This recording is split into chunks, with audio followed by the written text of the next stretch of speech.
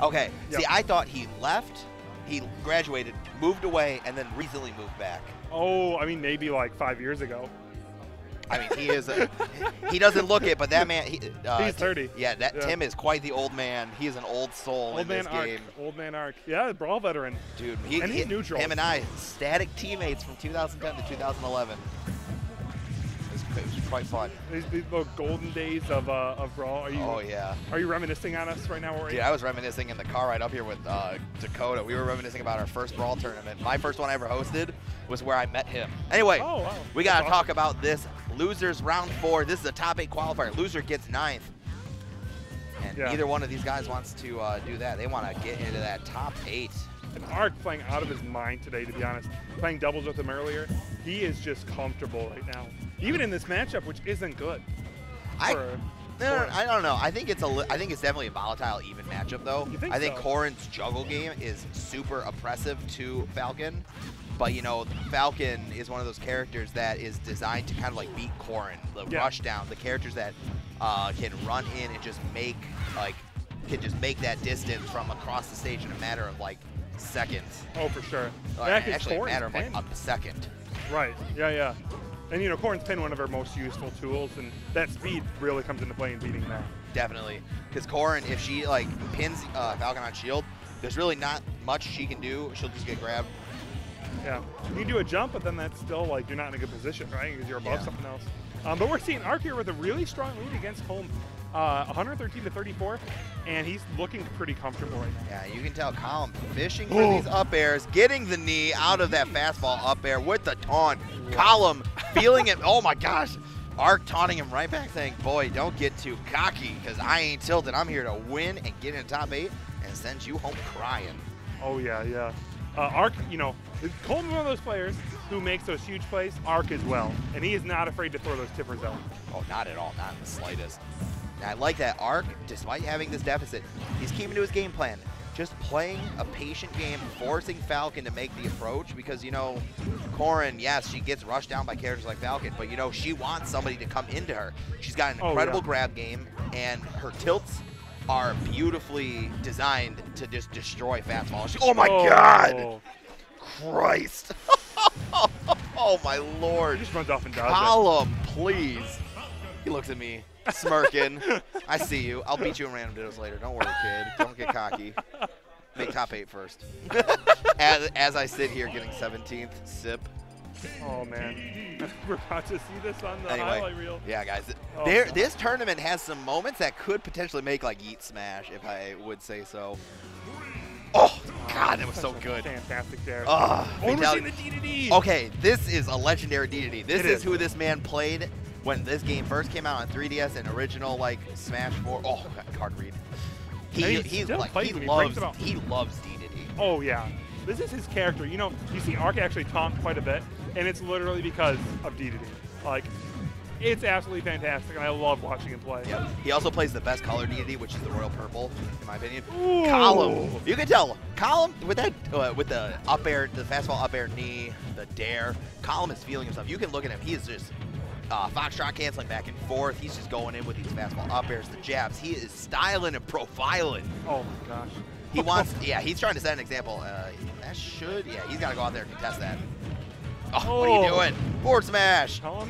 What are you doing? What are you doing, Colm? you had the high ground. What are you doing, kid? You shall be my team. Anyway, Colm.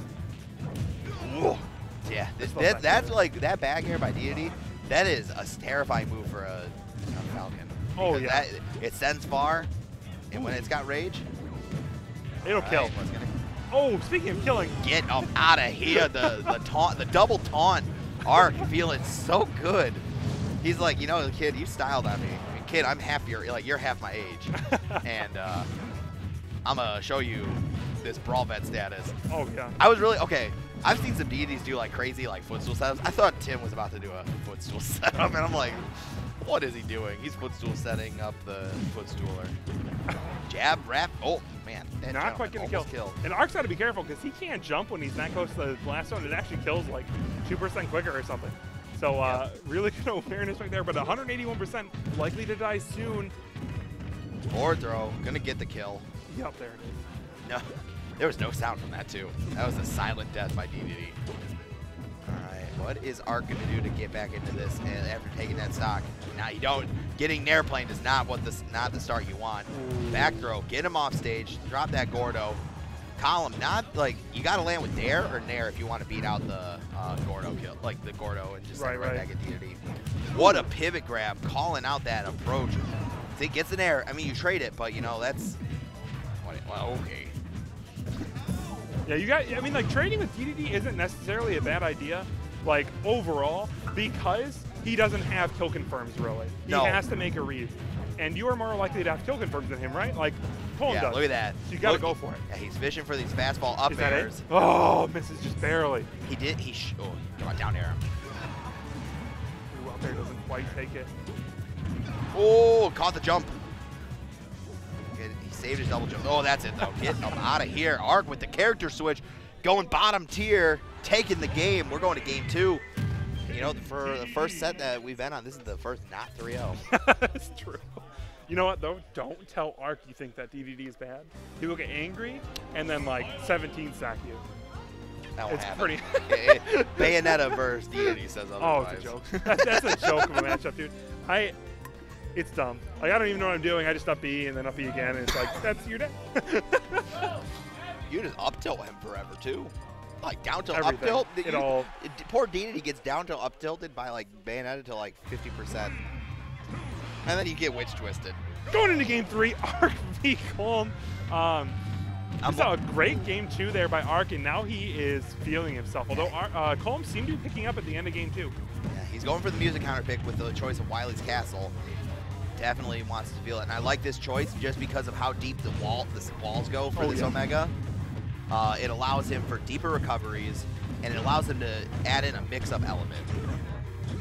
Yeah, really nice decision by him. Uh, Colm? Arc almost SDs, but doesn't quite. Nice use to the back air just to get rid of that Gordo, send him out of here. Now Colm looking for his mark. You can tell he's looking for all those grabs or those dash dances. Just trying to find a way in. Oh, the two frame. Indeed, he's Yeah. got a big old head, big old bald head. And you know that's one of the things about about DDD is you can't throw any hitboxes to like challenge Falcon when he's far away, other than Gordo really, because That is it. that'll happen. You just Yeah. get he just is too fast and he has too many good hitboxes, and uh, everything DDD does is just too slow. Wow. And what I'm liking from Arc is that he's actually DIing the down throw from uh, Falcon pretty well. Ugh. And so like he's not getting caught up. You can kind of tell like Colm when he's going for these down throws, he's going for these footstool setups for just like uh, a moment to try and see if he can extend it because you know Deity's fat and footstool Oh, yeah. is footstooling is great on fatties. Oh, he was going for a knee there. He was going for a knee. He wanted to hard call that out. Oh, he should have committed a lot harder. He had so much to like. He had so much to gain and so little to lose there. Oh, for sure. And something we didn't see Arc doing earlier was air dodging in that situation. Colm has Arc a little scared. Uh, so he's got to make the most of that if he wants to win against Arc, who is so fantastic at adapting over time and calming down when he wants to. Yep. You can tell. Oh, boom! Dang. Explosion. Like there is just some type of weird element inside that knee, man. I don't know what it is. Oh. Anyway, Colm Yeah. two one in the lead. That counter, that music counter pick showing to be quite the uh, quite the play. Oh yeah, for sure. It's like uh, Arc is one of those people too who loves counterpicking um, himself. Yeah. As far as characters go, I'm Kirby? expecting. Hovering Yeah. over Kirby. I have literally never seen Arc play Kirby in my entire life. I think he's thinking about Mewtwo or going back to Core. He, I do guess. remember him move like trying to have a Mewtwo for a little Yep. bit like last year, but then he kind of just shelved it. He's brought. there is this. Okay, Sonic I know. 2. I remember him making, I think top 24 at the last CMU showdown with the Sonic. Yes. And yes. it was like a game three situation where it was like all on the line, and he won with it. Yeah. Arc is a pretty solid Sonic. Sometimes a little bit more aggressive than you might expect. Mm-hmm. Um, but overall, his confirms are really good. He has some pretty good mechanics as well. So I'm interested in seeing how Colm responds. And so far, he's in the lead and doing a great job against him. Yeah. He's not letting like Sonic kind of uh, set up the Sonic game plan. Just spin dash on the other side of the stage, weave in and out, Oh yeah. make Falcon's life a living hell. I don't know. I, I I remember this is early Smash 4. That's it. Oh, Get them out of here. That's three stocks in a row from up air to knee. I mean that that's all Colm's looking for, man. It is a, it is one of Falcon's best kill confirms. Oh, yeah. It's just like why? It You don't kills early and it kills, you know, it's easy. It's a demoralizer It's too. so good. Like the moment you get like fastball up air need, you're just like, man, how did I it's scratch record? You're wondering how I got into this. Freeze frame. All right. Oh, I love he he he knew there was a roll coming. and you know Arc, he is looking like he's getting, molly, he's getting mollywopped. Oh, the people's elbow, 3-0 Colm or 3-1, two stock on game number four. Colm advances into top eight.